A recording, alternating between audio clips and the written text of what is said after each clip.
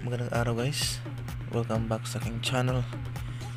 And uh, sa mga hindi pa nakapag-subscribe Paki-subscribe lang po And hit the notification bell Para updated ka sa mga bago kong videos. Sa araw na to ituturo ko sa inyo kung paano natin Ma-recover yung mga Deleted uh, Files like videos pictures and uh, audios o mga music. And guys paano ba natin yan ma uh, recover? Minsan kasi uh, uh, hindi na natin namalayan na uh, may na-delete tayo na importanteng uh, video or importanteng importanteng uh, pictures. So paano ba natin yan na ma-recover? Okay? So meron tayong app na gagamitin app na to ay ang uh, file recovery app. Ayan ito guys. Uh, ilalagay ko sa description box yung link kung saan natin ito ma-download. Ayan sa nakikita nyo meron pong recover pictures recover sounds yung mga music and uh, recover videos. Ayan ayan guys. So try natin. Okay punta muna tayo sa aking storage. So meron akong 12 uh, videos. Marami na akong na-delete guys. So ayan meron pa akong 12 videos. So try natin to i-delete and then try natin kung ma-recover ba natin okay? Ayan select all and then delete natin guys ha? Okay. So tingnan nyo wala na akong videos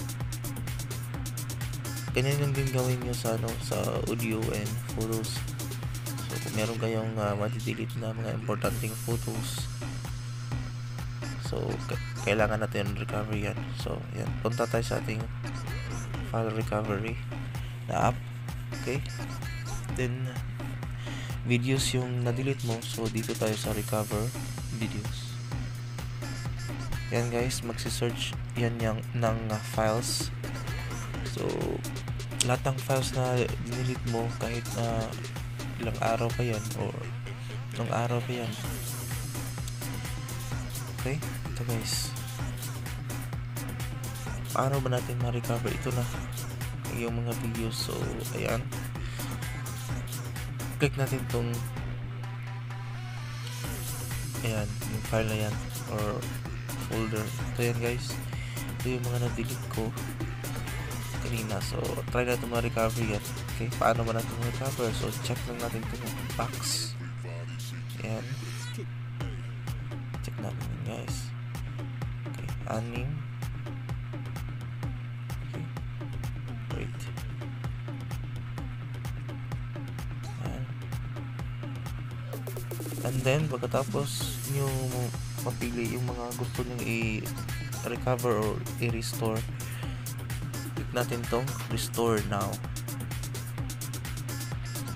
Okay hintayin lang natin na ma-restore restored niya yung files na ating gustong i-recover.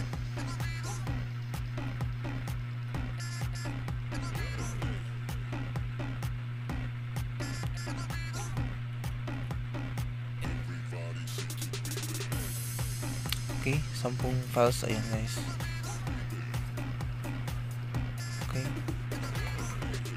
na-restored niya yung sampung files punta tayo sa ating file manager or storage. Ayan.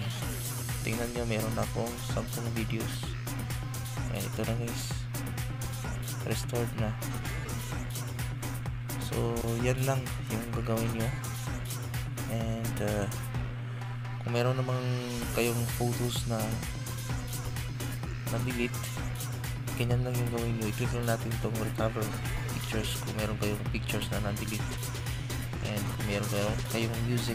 Ito yun guys recover sounds so kayo na magta-try nyan kung uh, gusto nyo ma-recover ma yung mga na-delete nyo na files.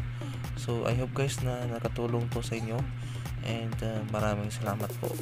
And uh, don't forget to subscribe sa aking channel. And uh, click the notification bell para sa mga bago kong videos. Maraming salamat and God bless sa lahat.